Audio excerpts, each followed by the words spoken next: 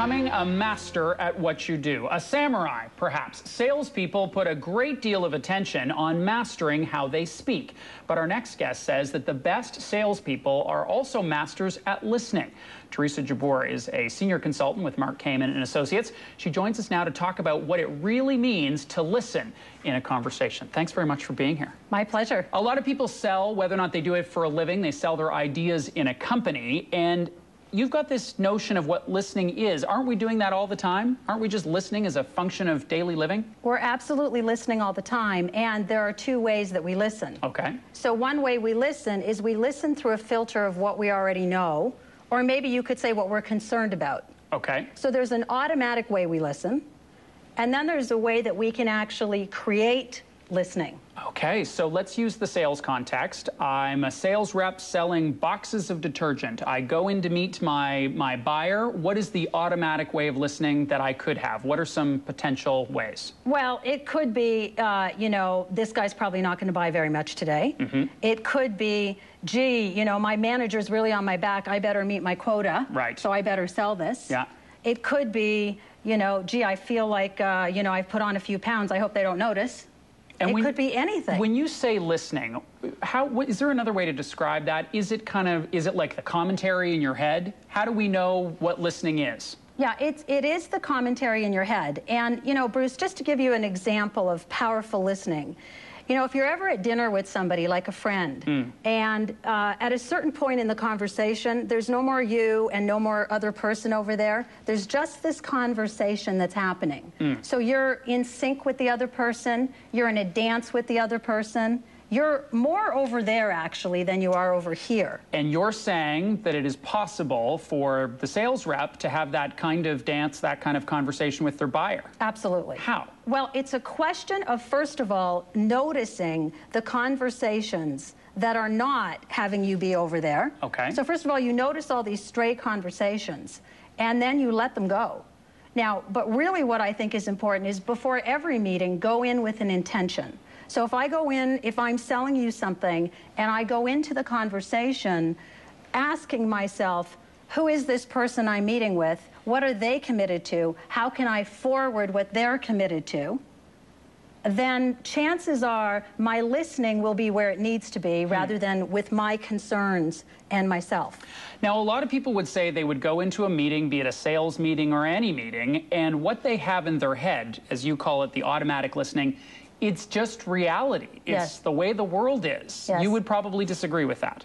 Well, I don't know that I would disagree with it, but I know that it's absolutely possible to let those thoughts go. Okay, gotcha. So the idea that you can't have it be any other way is what you disagree with.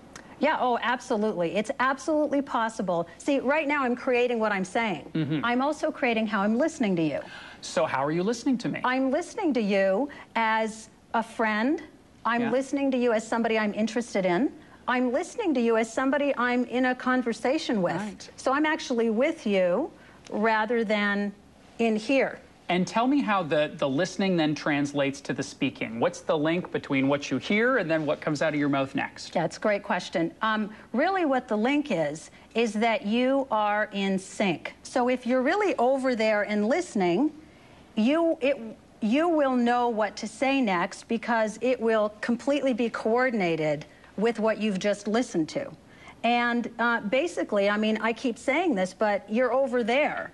And that's, that's how you're going to know what to say to forward your intention, not by being over here. Right. have you ever been in a situation where you were like in here? Sure, sure, absolutely. And and I it's interesting because I've been in that situation where I have been in the other person's world and able to understand them completely. I've also been in the position where I had the greatest intention, I was all set for the meeting, and then something happened where I lost the intention and the quota and the pressure and the time that that person, you know, didn't buy my 10 cases of detergent all of a sudden flared up again. Yes. What do you do when that happens? Well, what you do is you notice it and you let it go.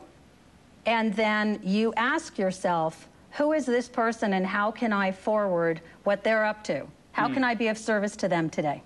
When it comes to selling, I mentioned off the top that we sell not only detergent, but people sell ideas in a meeting. They want to sell their boss to give them a raise, those types of things. And one of the biggest risks, it seems to me, or ways that this gets derailed, is that people take things personally. Yes. How do we not do that? And I say we because it's, it's ubiquitous. Yes. How do we not do that? Well, I think it starts with uh, noticing when you are taking it personally and letting it go, letting go of the fact that it's personal.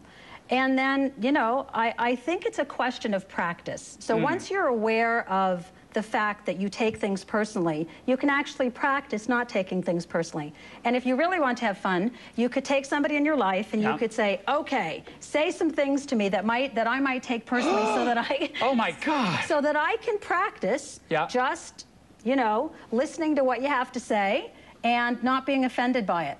And it, it you create an ability to have it be water off the duck's back, as the saying goes. Absolutely. Fascinating. Theresa, thanks for being here. Thank you. Theresa Jabbour is a senior consultant with Mark Kamin and Associates.